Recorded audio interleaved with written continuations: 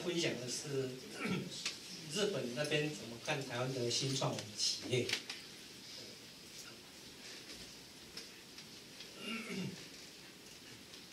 呃，这个题目基本上呃，其实应该不是理论，或者是只是观念。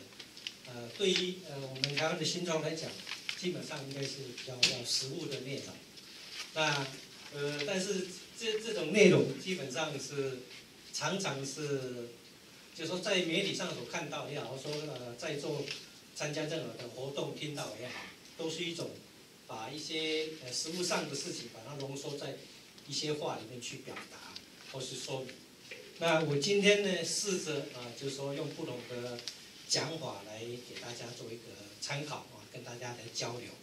那呃，主办单位是提了三个一个大纲，就是说分享的内容啊，就是说从为何日本的企业要看别的国家的新创企业啊，第二个就是说，那么台湾的新创企业有没有？呃，可能没有想过，但是事实上有合作的那种日本企业。那第三就是说，那么台湾的新创企业如何跟日本企业共同来合作？呃，我刚讲就是我用不同的角度切入啊，就是说给大家做一个参考，啊，大家再来交流。呃，第一个，我从就是所谓的呃投资台湾的新创的这些日本的投资机构啊，就 VC。当然，日本主要是 corporate 一些就是企业的创投啊，那么投资的一个状况。那这个资料在去年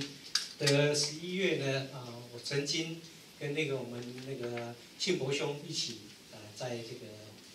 那个一个文章里面做了一点说明，我把它摘要一下。啊，就是说呃，目前啊，我这到去年底了啊，去年十一月的时候，就是说呃，我们庆伯兄所整理的。台湾的新创被日本啊所投资的到底啊得到投资的是哪一些企业？啊，当然，呃，这里边那个时候有列出了，啊，一期直播、行动杯果、配新啊、凯电啊、亚洲游科技什么上网，这么多的公司啊，那做的行业当然各自不一样，有做这种所谓的 AI 物联网的大数据分析的服务，也有定位成 AI 的专门的技术的这种发展的这种公司。那也有，就是它是发展一种所谓的整合的系统，不管是光学、声控，但是它也是属于 AI 应用的。那另外就是跟平台有关的，不管是行动软体的，啊，旅游的，或是经营这种呃网络的社群的这种平台，或是呃网网网络的网红直播的这种平台，或是一些物流的平台，啊，包括一些机票的，或是。自媒体的新媒体的技术应用平台，或是所谓的结合社群的这种电子商务的这种相关的设计的平台，或是提供即时的这种啊这个旅游的这种平台服务的。那另外还有除了这种平台，还有别的啊，用在呃比如旅游的这种网络科技用在旅游产业的应用，还有就是就是这些都是被投资的那些公司所做的领域啊。或者说用区块链做架构的这种软体服务的这种公司，还有就是欧图线下到线上的这种啊，有关医疗照顾，还有就是新药开发以及电动汽车，就说这些领域是啊被啊在我去年底我们所整理的日本所投资人投资的行业，或是所谓的台湾的新创企业的行业。那呃，如果从呃日本这个 VC。啊，投资台湾的这些 VC 到底是谁？当时所整理的啊，主要是这一些。从大家所知道的，比如说软银，啊，还有说在台湾投资蛮多的这个 Infinity Venture，啊，那这些啊，到最下面的有一家做电子的这种综合的啊商社啊，它的这个对它的投资，呃，就说其实是日本的投资人投资台湾的新创企业，其实也是各个领域都有。但是这里面主要集中比较清楚的就是 corporate VC，就是企业的创投。那么，呃，这些公司啊投资的这些 VC 本身，即使它是纯粹财务的角度，它背后它的基金的背后常常也都是日本的企业。你说日本的呃投资的能量，基本上就是日本的企业。所以大家知道说，如果想要链接日本的投资人，那很显然，不是从财务角度，他为投资你而赚钱的角度去思维，要不然的话你就会失去，呃，就刚好他们在着重的，到底对那个备货的企业来讲有什么新的有什么中效的这样的一个目标，你就没有去达到他们所要的这个目标。那么，呃。刚刚啊，这个是一个切入点，就是说，到底到去年啊，被日本的新那个投资人所投资的台湾的新创企业是哪一些，以及是哪一些 VC 投资的台湾，它背后的状况。那么这是一个角度啊。那另外一个角度，我提供的第二个跟大家要交流就是说，那有没有，就是说跟台湾之间好像比较少听到他投资台湾新创，但是其实他在日本蛮活跃的。那我就是提出一个这个公司，就是日本的 Sony。那呃，Sony 其实在日本的投资界也蛮活跃，因为其实 Sony 就是以自诩它就是一个很创新的公司，它是一个常常出现一个呃能够很惊艳的一个创新的一个事业的一个呃这样的一个荣誉的一个公司。那么这种公司它现在在所谓的对于新创，它也很活跃的一直在链接。啊那我用这个呃，Sony 啊，过去这两三年的一些做的一些例子，也分享给大家啊，做一个参考。这个是在那个呃，二零一九年七月的时候，Sony 在它总公司开了一个就是所谓的那个一个所谓的 Sony Open Innovation Day。那么当时啊，只要去参加，它有一千家以上的新创呃相关的呃企业或者相关的人啊去参加。那他开这个，这个的目的是什么？就说他本身基本上，呃，说你我刚刚讲，就是他一直以为他自己认为他就是一个非常强的创新的公司。那他开始对外去链接，就是通过这样一个机制。那所以他开这一场的一个一个一个活动啊，办这个活动最主要就是说，希望他说你新的事业啊，这件这个功能或是能力呢，能够跟外界。能够链接，就是说你他自诩他的创业创新能力很强，他公司集团内部有非常强的这种所谓的呃新事业或是创新的这种能量，他想要跟外部来开放，他想要跟外部来连接。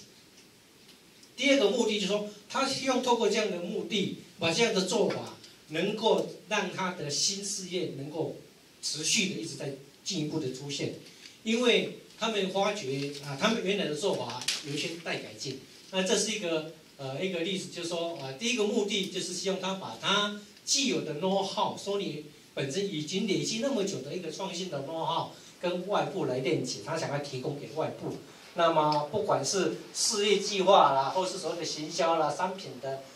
这个整个的发展跟那个整个的量产、整个运营啊，甚至财务，他们认为他们这个 know how，他们可以提供给外部。啊，这个是一个公司，就是跟他们已经有链接的。那这个主要就是说，他们认为现在新的创新性的东西不能再靠他们自己内部。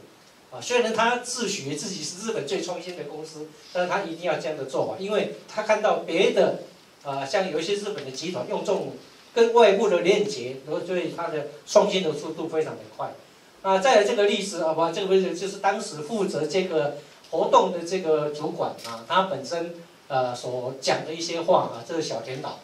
他本身就是因为呃如何让外部的创新的企业、新创企业跟他之间的合作，他就要顾虑到新创企业心里所担心的，因为一般日本的大企业都是想要把好的小公司并下来，变成他伞下的公司，但是对于新创企业，这个心里就有一个有一个。担心，哎，我如果跟你合作，就有可能会被你怎么样？所以他们就会去思考，如果 win-win，这是大家都赢的一个的一个一个关系啊的一个整个的建立这样子。也就是说，他们在这种呃，即使自诩自己也有创新上，他发觉这整个世界的运转，他如果不这样改变，他会慢慢落落后于整个创新的世界的步骤这样子。好，这个是另外一个例子，这是一个呃，这个公司呢，它。在那个时候就已经呃对外募资了二十五亿日币，等于是七亿多台币，啊，这是到那个，那是到哪一浪？好像是到反正那个时候他的募资几次之后，他累积了二十五亿日币。这个公司的一个，哎，对不起，哦，这个是呃瑞士苏黎世的一个一个一个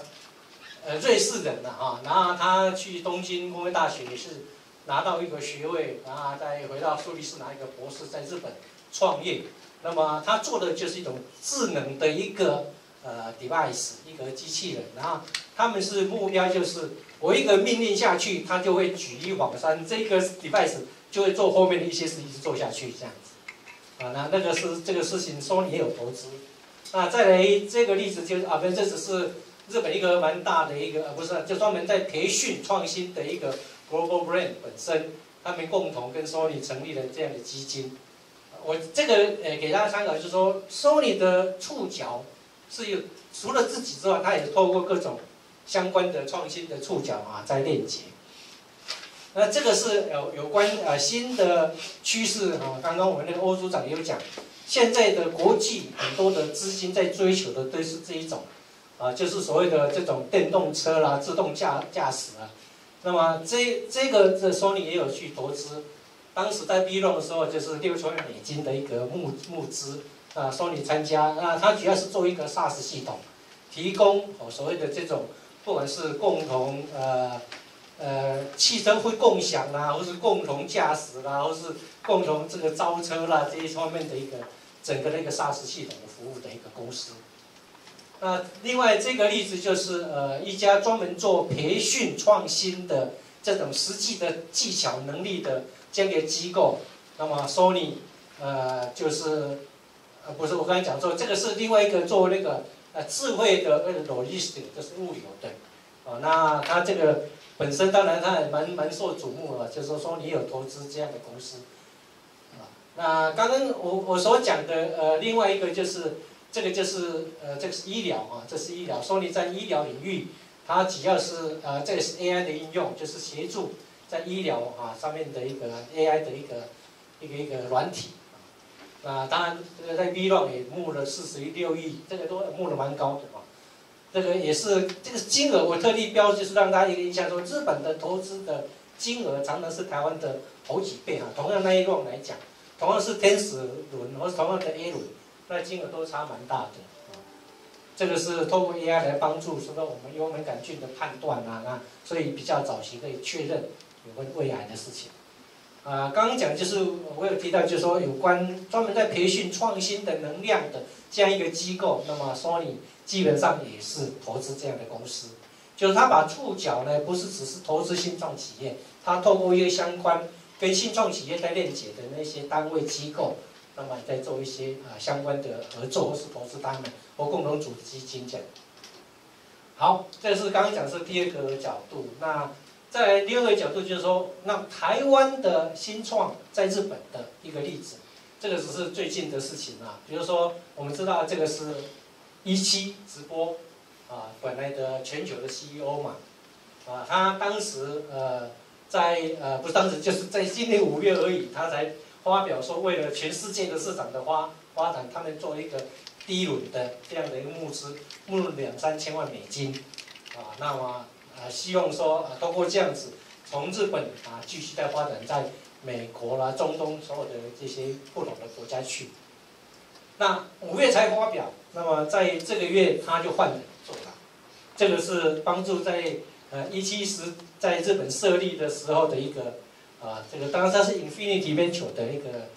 一个一个一个一个口方的啊。本身这个小野玉石啊，他本身不知道有有这六人认识他，他从这个这个八月十七，就刚刚那个五月，你看差三个月，他就接手这个啊一期的全球的运营的一个一个一个一个经历。那我我们用这样的历史的分享，主要是让大家从三个角度去看。那么到底台湾的新创企业被日本的哪一些 VC 投资？再来就说，那么日本有怎么样的呃一些企业集团，他们是怎么样跟呃新创企业在做相关的什么样的链接？以及啊，刚刚最后，那么台湾的新创企业，假设有一天在日本发展链接，那么落地的很好，那么你可能要要不一样的一个呃角度去看你在日本的这个事业。好，那呃，我用呃两个一个结语啊，给大家做一个看法。一个就是从日本的角度，从日本角度就是说，第一个，日本的企业呢，传统以前来讲，他们都倾向于就是说，如果企业不错、比较成熟，他就把它并下来，变成他伞下的一员，用这个角度。那么，但是他们发觉这种做法已经慢慢落后于全世界的一个发展，啊，就说呃，创新已经不能完全靠等到怎么样，那你才去变它，或者说呃，靠这种传统的做法去能够跟得上这整个时代的变。所以，对于呃日本的这些企业，现在观念都变，啊，变成就是他们愿意直接站到第一线去链接所谓的新创企业。如果有去日本参加他们最大的 ILS 的那个，你就一看一幕一看去，一两百家日本的大集团都插旗，每一家都插插一个旗帜，然后上面就呃有个一个旗帜一个桌子，然后后面坐个两三个日本的这个代表，那么新创企业一家一家轮流谈，那么一两百家的大的企业集团的位置在那边跟新创企业在对接，啊，就是非常的活跃啊，这个目前这个状况是很活络的。因为疫情才今年受了一点影响，要不然的话，其实他们整个的这个热络度哈，就大企业已经把能量都灌到这个所谓的跟新创企业的对接来了，啊，所以这个对我们台湾新创企业也是机会。问题是你能不能跟它链接上，就牵涉到我刚刚讲那个类似一个索尼的例子，索尼在日本也很活跃，但是为什么一直没有机会投资台湾？我们曾经也试着把一些案子要敲送你的门，但是呢，让你能够要敲进去那个这个敲门砖要过要过呃要过扎实啊，要过扎实。啊，那刚刚讲就说呃就说他们效仿国外的做法。那第四个就是日本的这种企业，他们重视长期的想法，所以跟台湾有点不一样。当我们要去那边落地，要去那边对接的时候，你最好准备你的长期的想法。你一定要讲得出有一套长期的发展的想法，啊，就说他们是他们的计划长期十年，长的是那种十年以上的，所以你最好是你那个事业是对整个的长期发展，或者说对整个带来经济、对产业有长期的效益的那一种，那比较能够跟呃日本或是被日本的好的大企业看中来跟你合作或是投资你，那呃就说呃有这样的一个愿景的比较被容易投资。所以呢，最后一点我就是说，进入日本企业最好你是用什么方式？你要想办法找到一个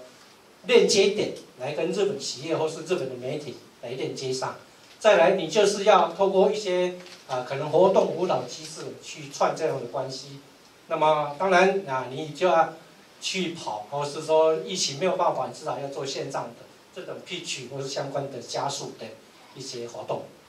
这个是我。讲的结语的第一个从日本角度，那么我现在讲的就是从台湾企业的一个视野来看，啊，就是刚刚啊我们那个呃也讲到，就是说呃，比如爱凯拉被伟创投资，然后开始往东南亚这个更加强的这个伟创透过这样去，那个那个我们那个简以前的那个的那个简总，然后就想说就是台湾 plus one 啊，台湾加一嘛。那我认为，除了台湾加之外，就新创企业透过日本市场的链接，啊，你除了台湾加一的精神和台湾加一的那个这个呃想法是一致之外，更主要，你通过这样的过程，你才会成为一个国际的，怎么讲？就说打国际杯里面，你才可以进入到国际杯。你看，你现在通过这样的过程，great 啊，好，upgrade 你自己。另外一个。台湾的新创企业，我们常常在投资、在评估的时候，就是会发觉新创企业所认为它的 valuation 跟投资人的一些认定的有一个落差。那就都经过这种互相来来往往在那边谈这个东西。我们认为，如果你有日本的落地，你很明显啊，你的 valuation 就是可以蛮啊，因为这样而被加持。这是呃，两个结语，从日本那边，或是从台湾这里。那我利用这个时间，呃，也稍微介绍一下我们自己，就是说我们呃，创创新业本身在日本有一个就是所谓的东京的一个 Incap 啊这样一个加速器，那帮助台湾的新创去链接日本。那我们所做的就是一步一脚印的推推动链接日本，落地日本，那就是把台湾的新创带到日本去。啊，找到哎，他的题目、他的技术、他的 solution 是日本市场，哎，在日本市场有潜力的这种案子，那我们在这里讨论做一些相关的准备调整。然后假设 OK，那台湾有一些资源，或者是说我们投资这些事情就可以做第一步。那当然这个过程是在台湾做。那假设这个 ready，那我们就往日本去。啊，去到日本就要通过我们日本的团队、日本的 mentor，再进一步的啊进行相关的所谓的当地化的 coordination 的一个相关的一个调整。那 OK 了，我们就要进行市场验证、对接的一些相关的事情。那假设 OK，那我们那边每半年一次的 pitch 或所谓的 demo 就可以参加，就可以跟日本的一些投资人或是企业做一些相关的合作对接的一个事情。这是我们那个我们叫做。呃，outcome base 的那个加速的一个 program，我们是一步一脚印的这样推，因为我们认为日本企业一定要，呃，这种所谓一步一脚印的台湾企业了啊，基本上是我们的经验是这样。但是因为我们是把台湾带过去，所以就发觉日本的投资人也希望透过我们来找台湾的案子，啊，所以呃，本来今天啊，我们等一下结束之后有一个跟 EIP 有关的这样的一个呃个别的洽谈。那个就是因为有日本的一家 corporate VC，他委托我们找看看有没有这种 ERP 相关的这样的案子，是刚好日本市场有 potential，或者说日本还没有做到的这种手入选，啊，他们在找这种案子。好，那这个是我们以前去的，我们我们办过的这种所谓的这种 demo day 啊，这个是去年的，因为疫情今年可能办不了。这个是跟东京都的那个 StarHub 办的这个 Pitch 秀 那还有就是我们在东京啊，这个帮忙台湾的新创办的一些相关的活动这样子。好，那最后我要请大家把，如果等一下要，因为我重点学的是比较是互相的交流，所以大家的疑问你麻烦写一下哈，麻烦写一下。那麻烦那个呃，我请那个。播一下，我们我请东京的我们的同事稍微跟大家打个招呼，说明一下他在做什么。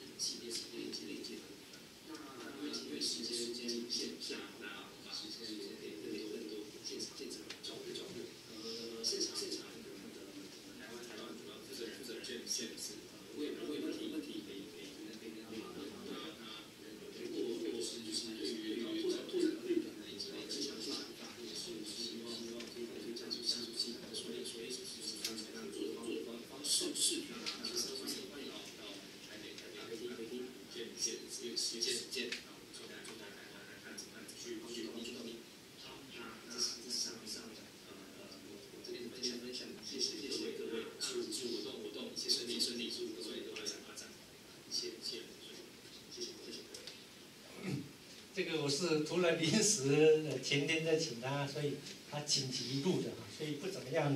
啊，那个不就是他尽量就他所知道短短的五分钟把它分享给大家了解。那个呃大家的问题，我想说是不是可以大家提出来？因为这个其实是比较实务的啊。呃，就在呃今天早上，我们有个案子。我们知道昨天有一个巴菲特投了日本的五大商社的这样的一个消息。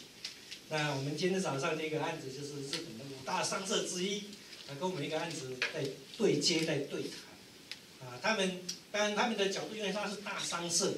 大商社跟台湾的这个现状企业的对接，那他们的角度其实就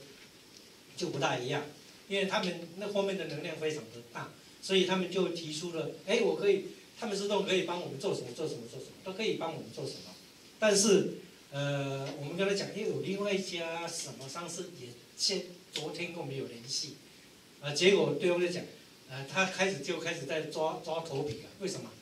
因为这种大商社之间是有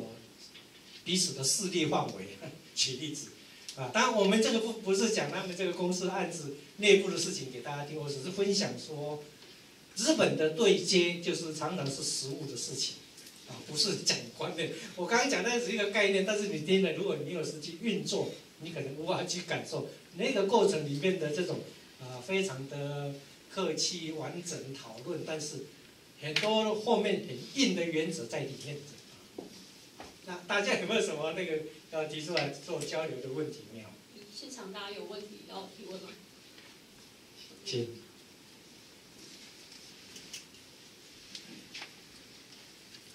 大家其他有问题的可以写那个提问档，我们这边会统一帮忙给卷。谢谢你哦，哎，你好，我是那个点点滴滴科技的创办人林作杰。好，那我们在二零一九年的时候得到全国通讯大赛的第一名之后，我们就前往日本。但也不幸呢，就碰到这疫情的关系。其实我们去日本展览多多次了，啊，我也代表台湾到美国旧金山 TechCrunch 也是代表队之一。但是现在因为疫情关系，已经八个月。在九月了嘛，哈，那从一月到现在都，我在想说，以台湾这样优质的，啊，其实我们在台湾已经呃，包括集资募款，我们都包括我们的行销都成功了。八月十一号，我们刚好也也开记者会，好，啊，我在想，日本是我们的首选，一直以来都是，好，这跟台湾历史有关。可是我都不知道在九月初了，哈，不知道长官或是前辈哈，给我们什么样？因为我们其实 JET 我们也签了，然后包括一些像台在台湾的展览。我们也跟日本也也都密切合作，该签的签了，只是现在不知道怎么下一步去做。我们连人员都训练好，这日语的人员训练好，但是不知道怎么写，这很务实。因为日本人他是这样，我们这段这一两年来跟他接触，他非常务实，他把我们身家哦背景都查过了，我们每个人是谁，他连我是谁都知道。我就是那个林威的爸爸，就在呛谭德赛那个女生，他我是他爸爸，他连这他都知道，他也认同。那现在九月了，我在想，再过几个月就要圣诞节了，不知道怎，不知道前辈可以给我们这样的一个新创公司，哦，一点点的指引，让我们走下一步，或是我们去 pitch 也可以，因为我去美国我都我都去过了，Google 啦，史丹佛我都去了，所以我都不怕，但是要有机会给我上台，我相信我应该可以有机会，因为我们商品已经完成了，好，谢谢。好，那个因为您您有提的资料，但是因为我们这一次下午。等一下谈的是 ERP，所以我就没有跟你。那正好我们可以保留时间，但是我先回答您刚刚的问题啊。呃，其实你们已经就是说，就是那个临门一脚，已经到那个临门一脚。临门一脚问题，那个临门一脚那一脚要要怎么讲？要要在当地踢，不是在台湾踢了。你远端踢不了，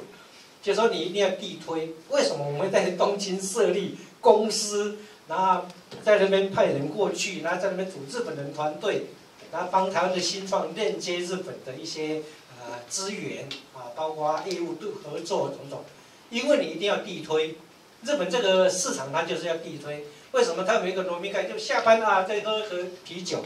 配个两个小三啊，好了就结束，就回去各自去吃个拉面回家去了。他们这个农民盖，这个就是一个地推的过程，就说你没有这个，你就培养不出。真正的关系，所以呃，就是那个临门一脚，你不能在台湾踢，在要在日本踢。那我们刚刚的那个 Anthony 他就是说，因为他们就在做这件事情，啊，当然这个事情是呃会要花很多时间，但是那个就是在那个当地帮你做，把现场的实际的状况，帮当你的婚生跟他们对接起来，这样你才能够当疫情比较过去可以降的时候，你已经前面铺陈到一个阶段，要不然后来会比较可惜，就说一直在这里就是。就好像说，我们看到很多的台湾的企业参加的展览，去日本参展，一年、两年、三年，啊，日本都好棒啊，甚至这个联络来联络去，但是为什么就是缺少临门一脚的下单？都是这个因素，就说你没有地推，啊，这个是 但是要在当地呢，这是我们的实际的状况啊，这个的经验呢，还有吗？这个这边有提问单啊，好。谢谢大家还有提问单都可以交给工作人员的。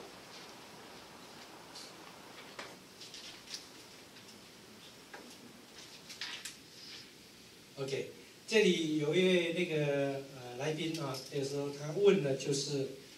日本在那个所谓的去中心化金融去中心化这方面的进展如何？那么资产的管理在虚拟交易方面的应用是否有需求？这个当然是日本的金融。金融其实他们很自由，当然他们的金融管理有一定的规范，但是他们其实像那个全世界的数位货币最早合法化的国家之一就是日本，对不对？所以他们在这个领域是观念非常的先进，但是有一定的规则而已。那么，呃，如果说您的技术是呃，就问的，就说你的公司的技术在某一个懂面确实是他们需要的。那你应该想办法，比如我们帮你们曝光，让日本的相关的公司，呃，corporate VC 后面的公司知道，哎，台湾有一家提供某种 solution，这个技术我们需要或怎么样，你这样才才能够去对接起来，啊，就说呃，我呃在疫情好的时候可以去，但是没有时候你还是想办法，啊，通过类似我们这样帮你在日本要曝光，一直铺成这种事情。这个需求绝对是有，只是我不晓得那个技术是不是你们的技术 solution 是日本现在缺的。那这一点我比较还要再顺便补充一下，我们曾经帮了一个台湾的一个，他们认为他们是在全世界很创新的一个技术，是医疗方面的，呃，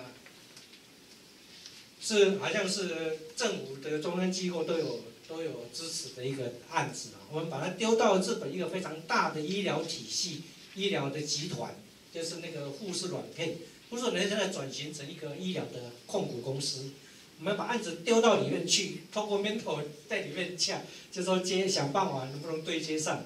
但是最后的回答是怎么样？这个没有什么好创新的，就是我们觉得很创新，可能在日本里面我们不晓，其实对他们来讲不是那么样的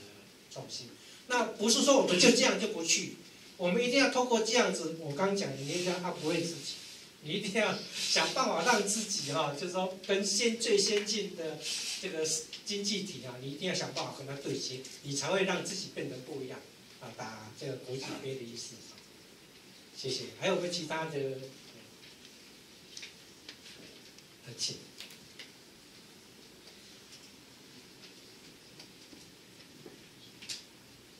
哎，谢谢 James 啊，你好，你好，我叫 Jason，然后我其实是跟你一样，从事创投的事业哈。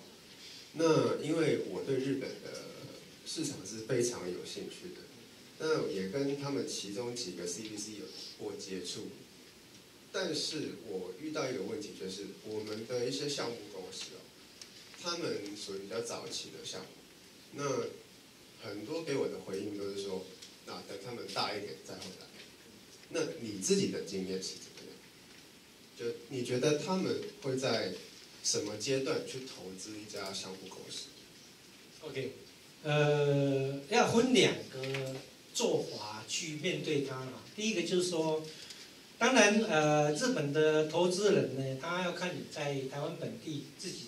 到底市场验证的状况，你是不是足够成熟，你的。呃，技术的被市这个人家卖印，或者说你的这个商业模式，就实际在市场验证是已经有